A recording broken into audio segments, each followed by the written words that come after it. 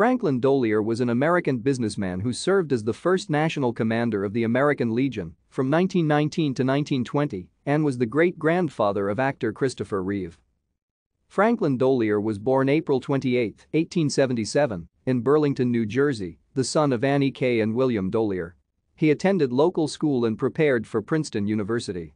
He was graduated from Princeton in 1898 and immediately entered business with his father of William D'Olier and Company, commission merchants in cotton and cotton yarns, in Philadelphia.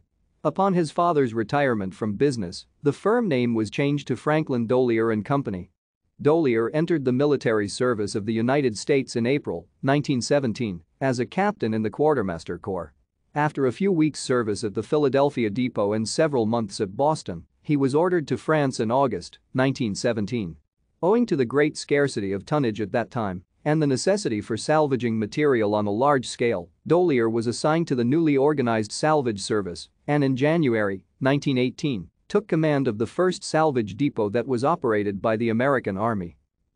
Within six months the work had grown so rapidly that the personnel increased from 12 to 6,000 and this depot was salvaging for about 750,000 men and was larger than any depot operated by either the British or French armies. Thank you for watching. Like and subscribe if you would like to view more of our videos. Have a nice day.